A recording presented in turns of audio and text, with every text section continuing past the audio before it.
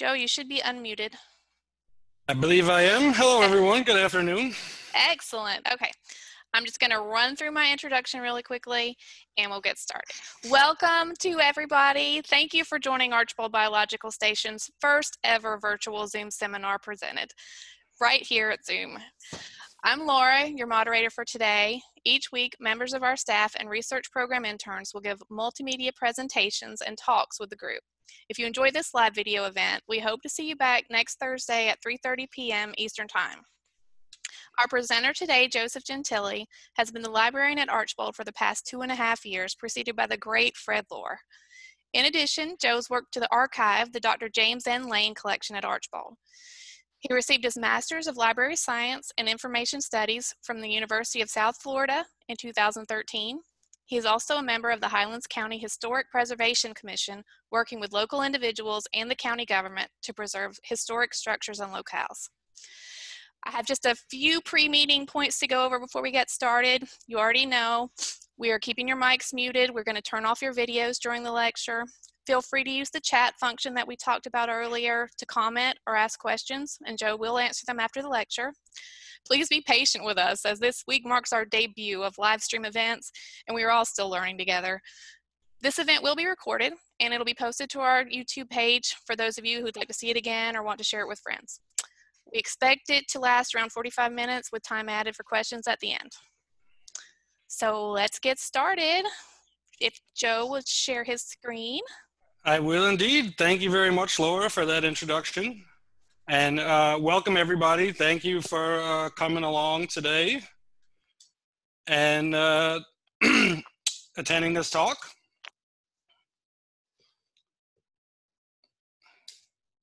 And there, okay.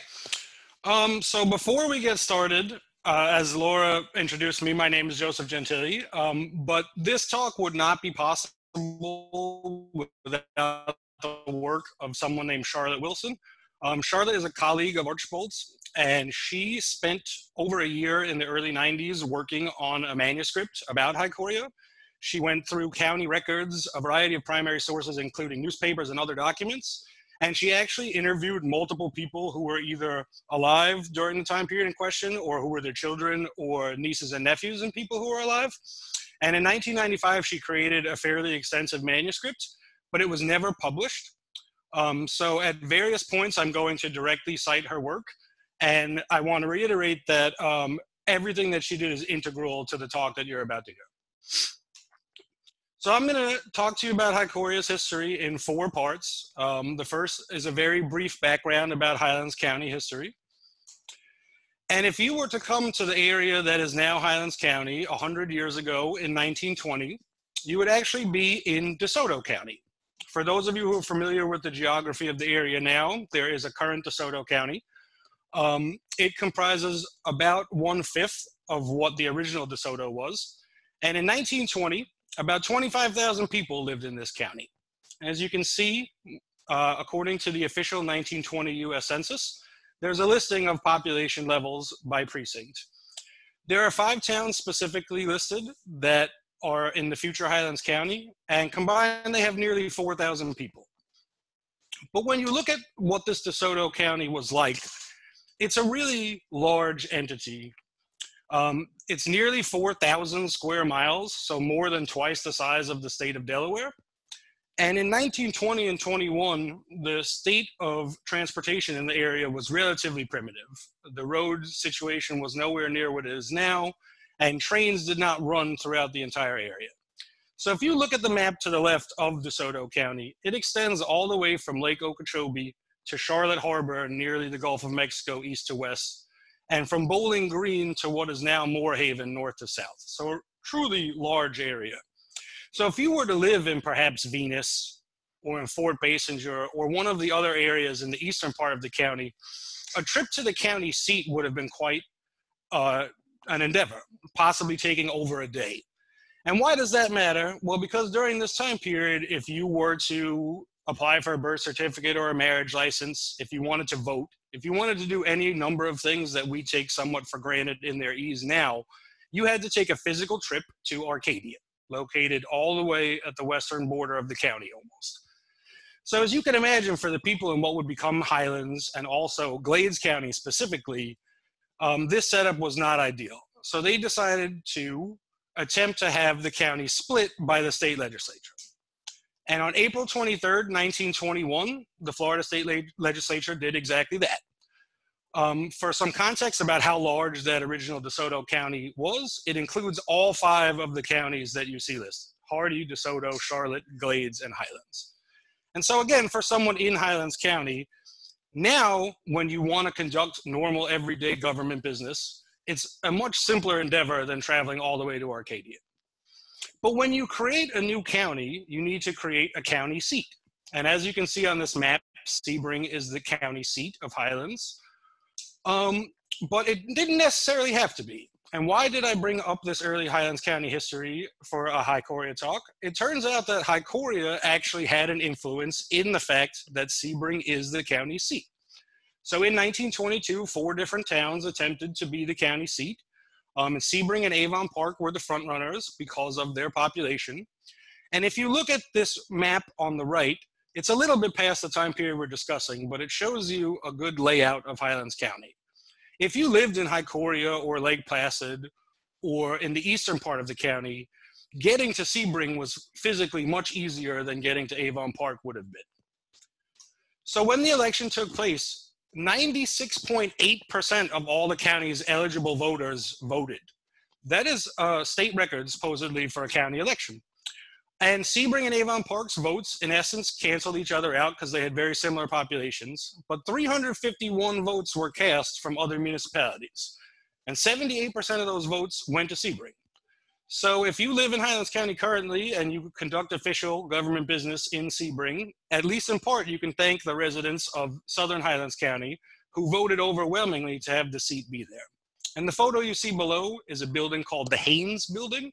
If you were to go to the courthouse when Highlands County was brand new, that is where you would have went because the courthouse in Sebring was not built yet. So even before there was a Highlands County, Hicoria was already uh, important to this area. I want to dig a little bit deeper now into the town itself and its foundings. In 1881, the Florida legislature created an entity called the Atlantic and Gulf Coast Canal and Okeechobee Land Company. And what you're looking at is an official map from the pamphlet the company created. They owned the vast majority of the land that you can see in both dark pink and light pink. And on the right, I've just zoomed in into the map to show you a little bit more of the area we're talking about. In the 1880s, this area would not have even been DeSoto County, it was Manatee County. And you can see the large red arrow is where Hicoria would end up being in a few years. This is what the pamphlet looks like, and that copy is from the University of Central Florida Digital Library. it's an original copy. So 50 years after the county was founded, there was a Golden Jubilee program given out to citizens for 50 cents. And part of the goal was to teach you about the history of all of the towns in Highlands County. And Hicoria had a two page section written about it. And for the, our purposes, there are two interesting facts. The first is that the first settler, and they even reference the person as a squatter, was about 1894 or 1895. So people were living in the Hicoria er, area even before 1900, though in very few numbers. and also, it references how Hicoria got its name. Uh, Dr. John Kunkel Small, a very well-known botanist, came to this part of Florida uh, several times to work on a book called Flora of the Southeastern United States, um, and while in this area, he took a special interest in a hickory known as Hicoria floridana, or the scrub hickory. And he suggested, as the railroad was being built through the area, that they should name the railroad station Hicoria. And that is, in fact, why it got its name. If you were to come here about that time, 1915 to 1917, you would have seen five or six original homesteads there was a government survey, resurvey issued in 1917, and according to those official records, five families currently lived in Hicoria. And as I mentioned at the beginning of the talk, I'm going to reference work done by Charlotte Wilson frequently, including now. She went and uh, go, went through some plat book maps of the old area. And these, so these are rough maps of the area of Hicoria and the dates of the original landowners. And you can see on the right, I've zoomed in a little bit into the Hicoria area specifically. The four highlighted homesteads and the one next to James Carleton were where the five original homesteaders lived. It was actually not um, the Hammers that lived there, it was the Shackelfords. Um, but these five families are sort of the genesis of what will become Hicoria. And if you notice, land in their area is owned by the canal company and also by the railroad. And if you look along what is marked Atlantic Coastline Railroad, there's a date of 1917. Between 1915 and 1918, so roughly during World War I era, the Atlantic Coastline Railroad surveyed the area. And during the 20s, which were a real population boom in Florida, they expanded railroad service throughout Southwest Florida. On the left, you can see an official map of some of their lines. And on the right, I've zoomed in a little bit so that you can get a better idea. And you can see that the line runs from Lake Wales through Avon Park and Sebring down to Hicoria and past. But it's important to note that this is not a passenger line. This is more for cargo. But it did open up the town to the wider world in two important ways. The number one being mail is now delivered by train. So goods and letters from the outside world became much easier to both send and receive. How do we know some of what we know about Hicoria besides from these official documents? Well, it turns out the area was fairly well reported on by the local newspapers of the time. So to your left, there's a newspaper called the Sebring White Way, and to your right is a uh, Highlands County News article. And they're fairly mundane items, for instance, about um, someone returning from surgery in Arcadia, or how a man named G.A. Kelsey became the teacher at the Lake Placid School. Um, but for locals, this was an important way to keep up with what was going on in the community. And in Charlotte's research, not only did she uncover some of these newspaper articles, um, but she actually spoke with individuals. So she spoke with someone named Vernell Raleigh, who was a Hicoria resident. This is a picture of Vernell on the left in 1926. And she spoke with family members of George Kelsey, the teacher from the newspaper article in the last slide. And that's a photo from him in the 1920s. He taught at the Hicoria School for about five years to several dozen students so in these interviews, Charlotte asked them about what life was like in the early days of Hicoria. And Horace Shackelford mentioned to her that there were so many quail that you could go out and fill up your hunting coat without a dog. And Vernell Raleigh mentioned that many homesteaders canned a great deal of garden vegetables and fruit they collected. She even remembered one season where they canned over 600 containers of produce. Similarly, Mary Kelsey Payne, a family member of George Kelsey, remembers that the early days were raw, in her words. There were sightings of panthers and bobcats and bears, common even, she says, with foxes stealing chickens. And Horace Shackelford again mentions Seminole Indians were seen fairly regularly, as well as illegal fur traders looking for whiskey.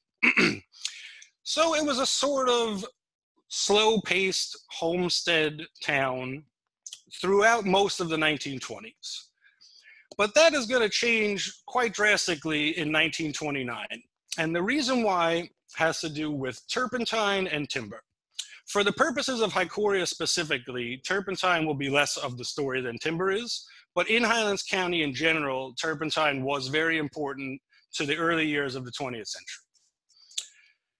In what is today the Avon Park Air Force Range in the northern part of Highlands County, there used to be a town called Nalaca. And this and the next slide, I reference the town of Nalaca for a very specific reason.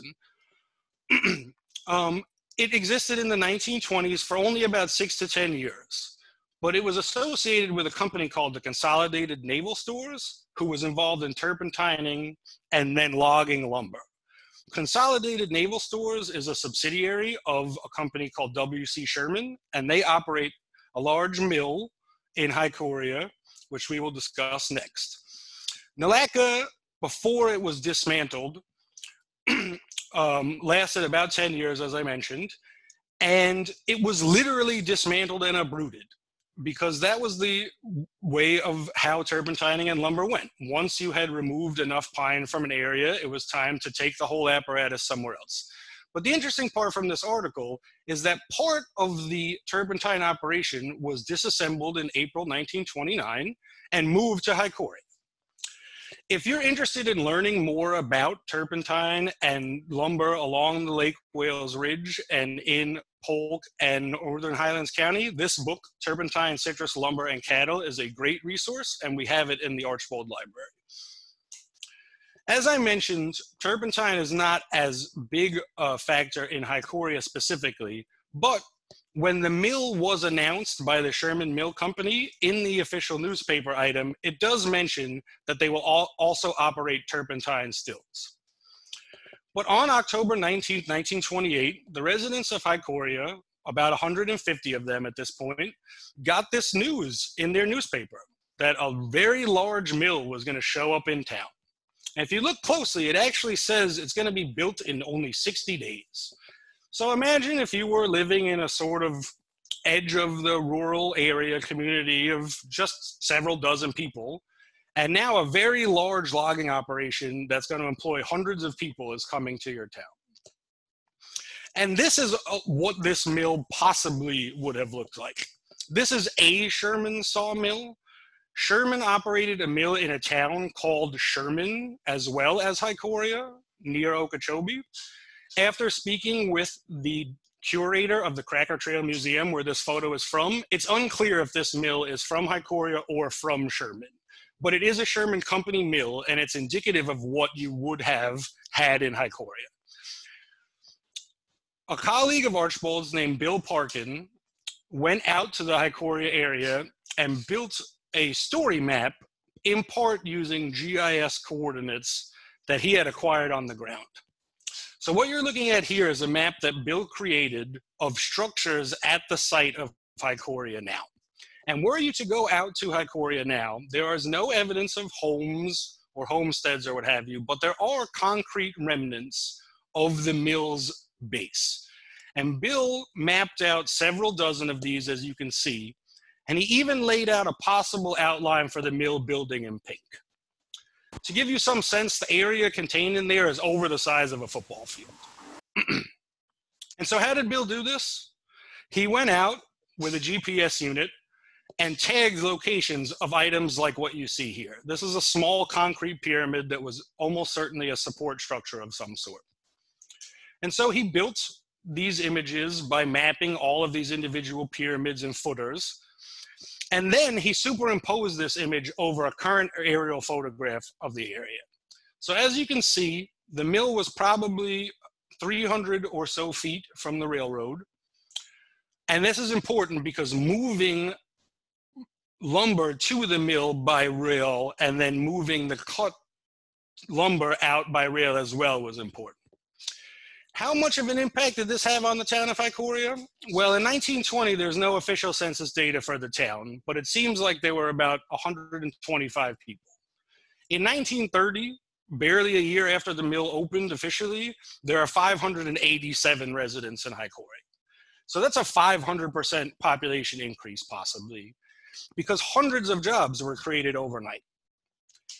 Now, this doesn't all come with positives, as a change this large, you would imagine, there are three major negatives associated with the mill and what it brings. The first is a really restricted wage policy. Because Sherman owned a large mill in Sherman and Hicoria, they were able to dictate wages for laborers in the logging industry in this area.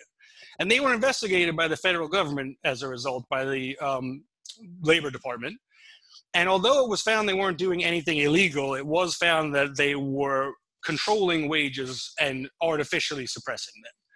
And along with this also came a company store. And if any of you are familiar with company stores, they usually are not beneficial to the employee.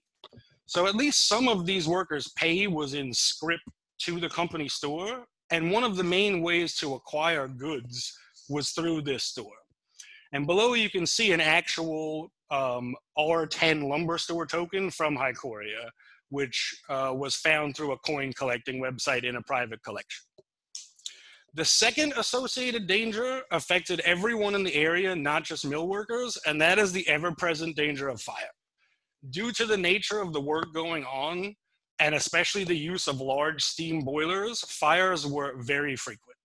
The mill existed between 1929 and 1935, and there were a minimum of three large fires. And the one referenced in this slide in 1935 actually did approximately a million dollars of damage in today's money. the third negative that comes is the inherent destruction and deforestation which turpentining and logging bring to an area. During Charlotte's research, she discovered that the Sherman Company throughout Florida probably cleared almost a million acres of Florida, and none was ever replanted. And W.C. Sherman himself in the 50s was interviewed, and he gave this quote below that I'm going to quote in some detail he said, I am just one of the thousands throughout these United States who thought only in terms of the vastness of our country, who marveled at the apparently unlimited supply of natural resources. But we were short sighted. No man has the moral right to devastate natural resources, which might be needed by future generations. So, along those lines, I want to talk about what is the connection to Archbold Biological Station and why is this talk given through Archbold? Well, in 1929, when the mill was being built, John Augustus Roebling II and his wife, Margaret Shippen Roebling, were wintering in Highlands County. They had actually spent multiple winters here as a guest of Melvil Dewey, he of the Dewey Decimal System fame.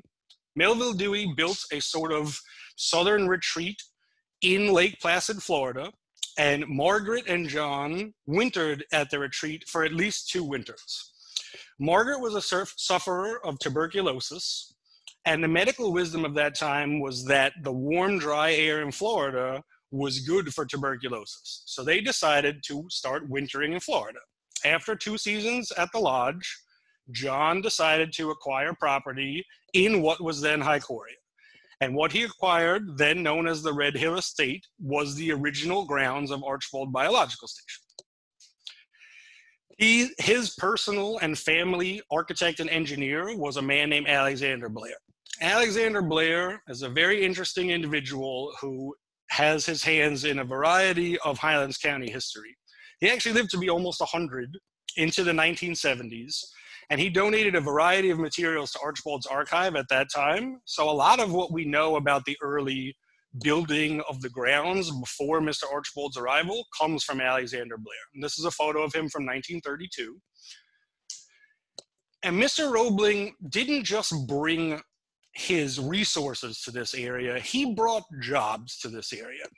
1929 is the beginning of the Great Depression, and instead of using modern techniques and technologies to build the original Archbold Station grounds, he hired dozens of local laborers to do as much as possible by hand. So I just wanted to show you a little bit um, from 1933 on the left and from 1931 on the right of the buildings being built. And you can imagine people who are living just a couple miles down the road in Hicoria who have no other source of income. This would have been amazing. And he paid three dollars to five dollars a day depending on your skill level which was fairly generous for depression wages. But more than that it was about having guaranteed income and the ability to feed your family. Margaret and john had a son named donald and unfortunately margaret died in 1930 of tuberculosis complications. John decided to complete the building of the grounds and work was continued from 1930 until 1935 so 1935 is sort of the beginning of the end of Hicoria. The mill fire in June expedited the closing of the mill, and Mr. Roebling was no longer employing laborers to build his grounds. So for the next five to six years, John Roebling tried to find someone to acquire the grounds, and it turned out that his son Donald's school friend, Richard Archbold, was looking for a place to have sort of a base camp for his biological expeditions. And so Donald got his father and Richard Archbold together, and in 1941, Mr. Archbold acquired the grounds from John Roebling. If you look at a modern map of Archbold Biological Station's grounds, which are in approximately in green in the slide you see, you'll notice that today the grounds of the Sherman Mill, and indeed almost all of the grounds of Hicoria, are contained within the Archbold Biological Station. And the purchasing of these grounds began before Mr. Archbold's death in 1976. They actually began in 1973. And through a series of transactions over the ensuing decades, nearly all of what was Hicoria is now a part of Archbold Biological Station. So that explains what happened to the land. What happened to the people? Well, uh, Fred Lohrer, as mentioned at the beginning of this talk, our librarian emeritus, was our longtime librarian here for nearly five decades, and Fred and I have had multiple conversations about Hicoria. So I asked him if Mr. Archbold had kept any residents on the payroll after he came in 1941, and it turns out he probably did hire, uh, excuse me, keep four people, and he certainly did keep Garvin Shackelford, who we briefly touched upon earlier as a Hicoria resident. He worked here at Archbold Biological Station um, during the 1940s and possibly the 50s. And all four of these people listed may have been kept on the payroll by Mr. Archbold as well. So some few Hicoria residents still found employment here. But between World War II and the um, mill fire, Hicoria's population plummeted. By 1950, it's down to below 150 people. So I have been discussing this with Fred, the precipitous decline of population and what that leads to. And he had a really great quote, which was that Hicoria was an ephemeral lumber town. Lots of buildings were probably abandoned or burned in a wildfire. Um, but when he came in 1970s, there was one building still left. And I was hoping to find the slide that he mentioned and tie the talk up with that and show you that. But unfortunately, I wasn't able to.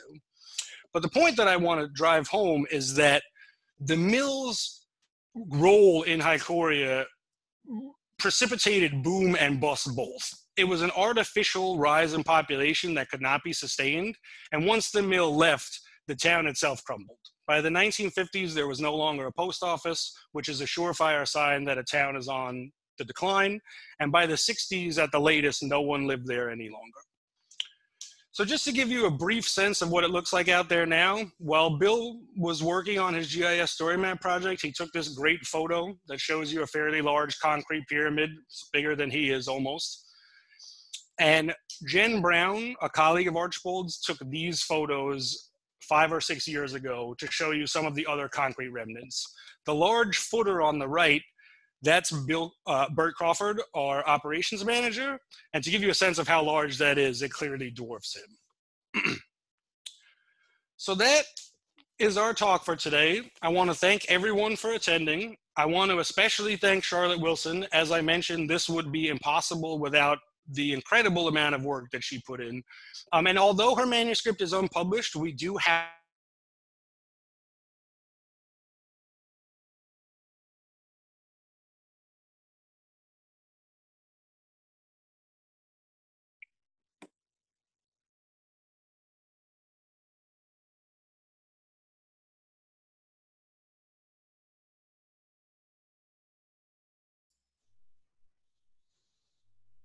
Let's give Joe a few minutes to get back on track here. If anyone has any questions, you can put them in the chat box. So we'll be ready for him. Or we can unmute you in just a moment if we're able to get Joe back.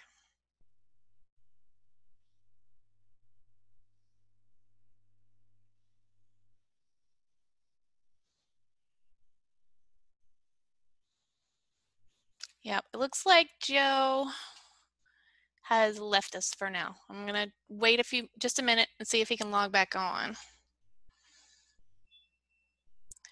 All right, I'm gonna unmute everyone.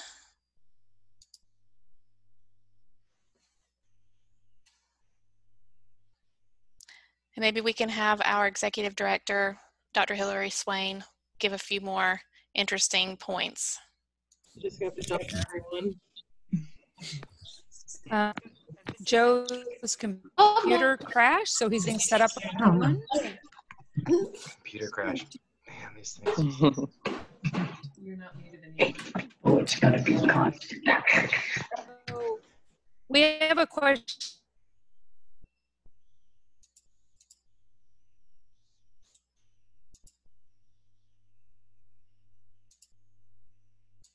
Laura, Laura, it's Hilary here. I'll be happy to answer any questions if you'd like to point some of them from for me. Great, thank you. I see that Joe's trying to log back in. But let's see. And I see that Bill Smith asked Hilary if there is a display of artifacts at Hicoria, at Archbold from Hicoria. Uh, no, there is not. And that's a very good question. In fact, we haven't really had an in-depth archaeological survey. I- It is definitely on our to-do list. It's not quite got the top of it, and we'd need to look for some extra funding to bring in some professional um, archaeologists and historians. But we'd love to do it. And uh, if you have any ideas about that, please let us know. And Laura, Joe is back on. If you can unmute him Yep, let me find him. and say Joe's PC. There it is. Hello. You're back. Oh, Oh, I'm really is. sorry about that. Um, my laptop decided to restart during the last slide, but I had everything open on my desktop just in case. um, so I'm here, audio but no video. I apologize, everyone. Joe, there's a question. Do you have a better aerial on location of the mill from Nancy Bassett? Of the exact location of the mill, so it was to the west of where the road, Old State Road 8 runs now, and fairly close to the road. Bill's outline is a guess, but it seems to um, gel fairly well with where it would have been. So I believe that what he had in slide, I, I can load that slide up again, is pretty close to where it would have been. Um, part of the problem is that there are sort of associated structures with the mill as well. So it's kind of hard to figure out what would have been a permanent structure and what would have been sort of. Um, can you let me share my screen? I can put the talk back up again. Let's see. I'm going to make you co host again. That should help. Okay, yeah, it's because I had to switch computers. Sorry again, Yeah. everyone.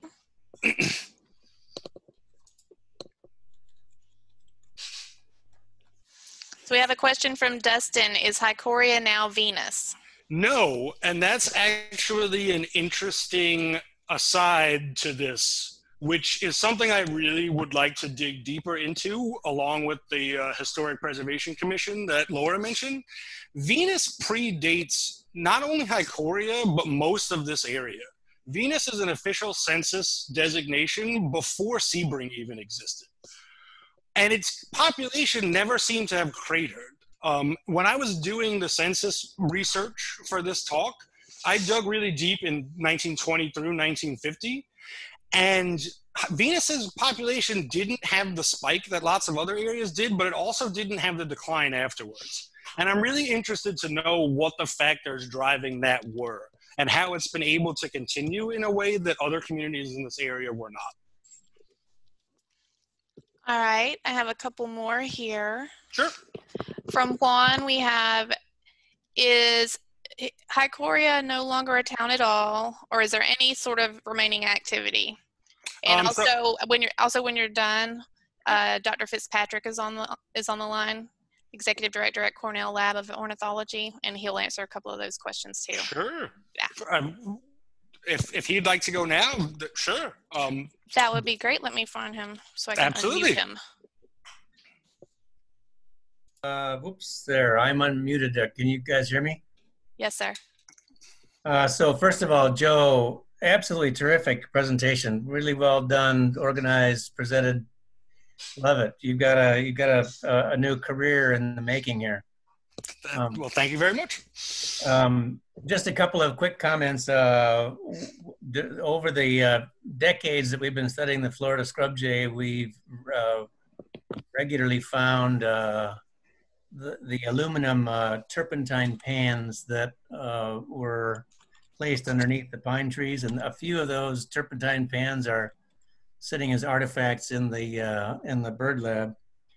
Um, there is one tree left that I know of in the entire Archbold property that still shows the cat-faced um, slashes uh, that were uh, put on the base of the tree to uh, to take in to uh, to cause the turpin the uh, pitch to run into the turpentine pans out there at the very west end of Culvert Road.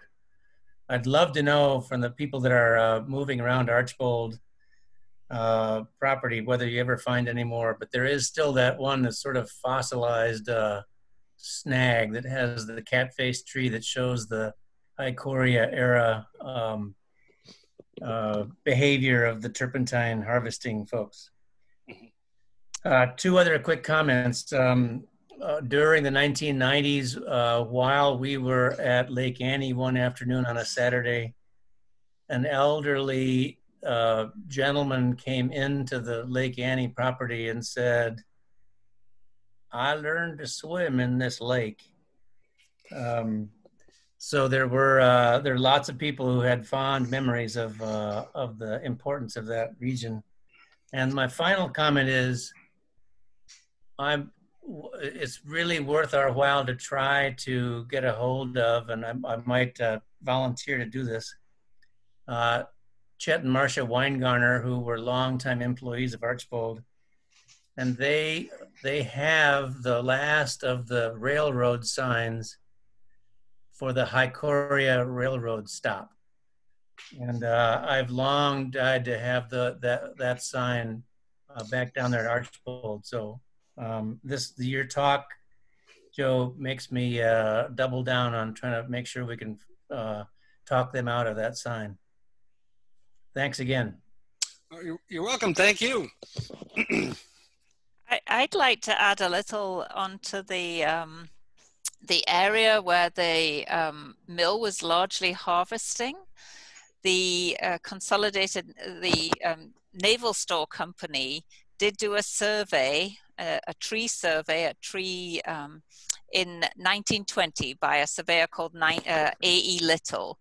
And we do have maps of the density of trees in the area around Hicoria and most of the significant timber was well to the west of where Hicoria was. That's why they ran the single track railroad lines out to the west.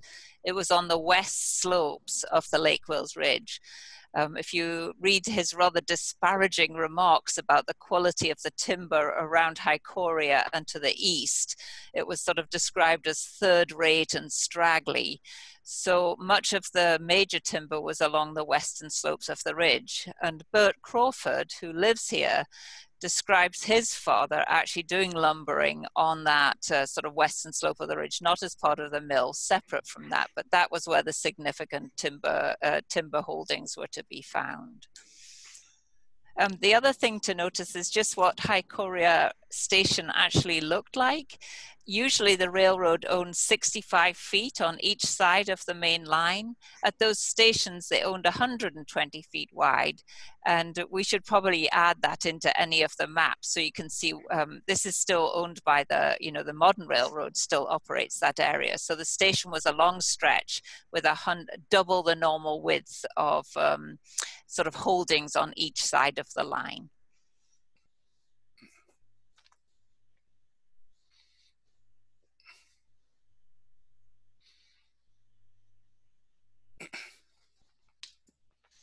All right, do we have any other questions in the chat? We had one question from Ken about hickory being the dominant tree in the area, but our plant lab expert, Dr. Menges, answered that. Hickory is very common in that area today. If, if anyone would like to talk about that, was hickory the predominant tree in the area? I did see a question about the black community at Hicoria. Um, the mill had segregated housing, white housing, and black housing, and there were many black employees. And there is a town in the, it's unincorporated, but it's known as Highway Park. And the cemetery that Hilary referenced in the chat is in Highway Park. And through our work with the Historic Preservation Commission, um, that's actually come up recently and is up for a spot on the National Register of Historic Places. And it seems like it's going to get it. Um, so that will actually only be Highlands County's fourth place on the registry, and Archbold's one of the three. All right, we have another question from Steve. Was pine the primary species harvested for the mill? Yes.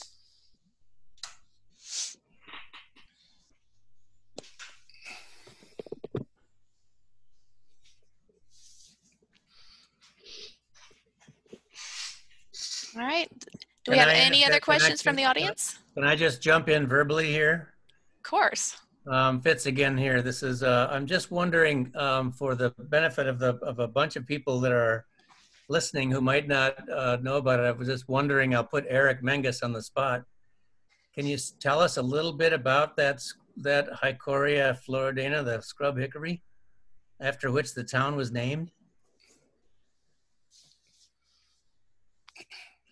Yes, uh, can you hear me?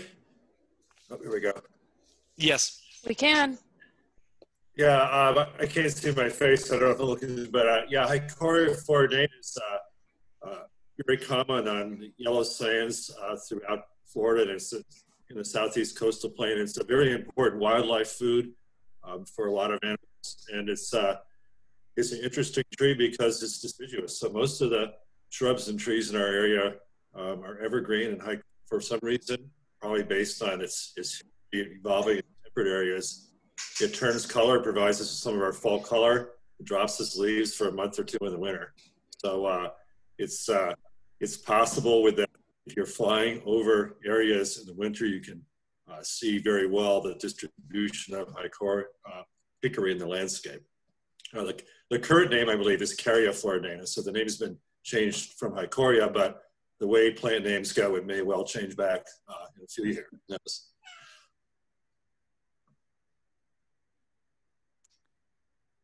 If anyone is, this is Hilary Swain here, if anyone is interested, some of the specimens that John Kunkel Small collected, uh, he worked for the New York Bot- Botanical Garden and was sponsored um, to do a lot of work in this area. Um, some of the specimens that he collected for um, the, the scrub hickory are actually online in the New York Botanical Garden collections, and you can see where he collected them. So that's kind of a nice, a nice piece of uh, digital information and preserved pl- uh, plant specimens that you can see online. All right, we have a question here from Dave. Dave was wondering if Fisheating Creek gave Venus a different basis for its economy than turpentine, maybe through farming.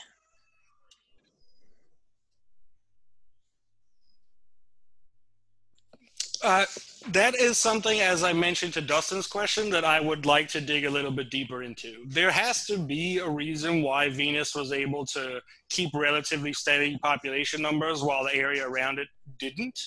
Um, but I'm not versed enough in Venus history to answer that definitively. That is a project that we would like to work on going forward, though. Um, so hopefully, in the near future, that's something we'll be able to answer.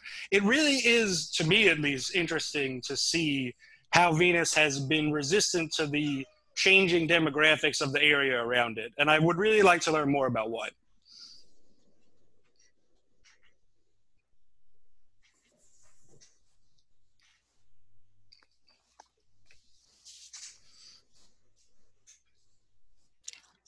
Okay, I don't see any other questions. If I missed anything, let me know. There's a question from Ray White there, Laura, wondering if Venus is actually a town now. It is indeed, yes.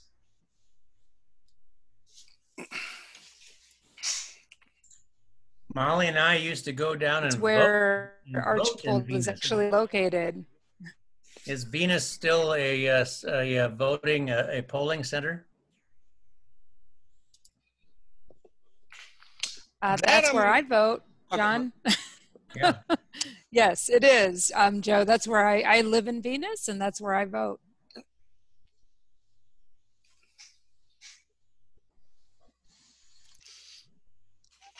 All right, I'm just going to share my screen, my last screen here.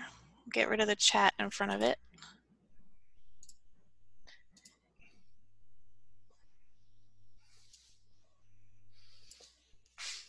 That's Joe's last slide that we didn't get to see. Yeah, sorry about that. at, at least it waited till the next to last slide. I appreciate that. So if if we want to wrap up now, I'll just tell everyone that we do have two events again next week. We have Archbold's Discovery Classroom on Tuesday with Dustin Angel, who's here representing our group today. And also, actually, Thursday is also with Dustin Angel. Our next staff seminar on Thursday at 3.30. Archbold, why, what we do and why it matters. And I just wanted to thank everyone again for coming and thank everyone who made this talk possible. That part got cut off, unfortunately. I appreciate it very much. And I hope that it was informative to everyone. I'd like to personally, this is Hilary Swain here. I'd like to personally thank you, Joe, for putting together a, a, very tight talk there. And also to thank the team behind. I know these things are not trivial to do, so we appreciate it. And um, uh, thank all of you for joining us. It's just really, um, we're sorry you can't be here, but we're glad we can bring a little bit of Archbold to you. So thank you all very much for joining us. We appreciate it. We look forward to seeing you again. Thank you.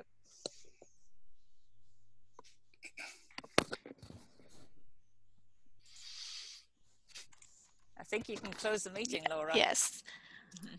Thanks. Bye, everyone.